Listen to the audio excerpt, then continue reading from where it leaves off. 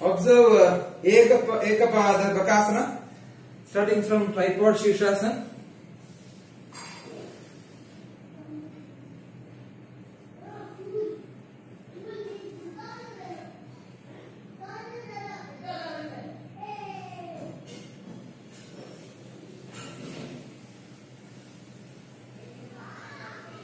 Hold only one leg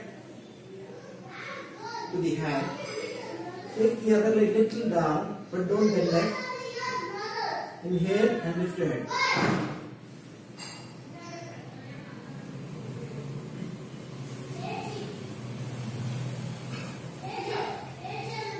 Put it down, put the leg back.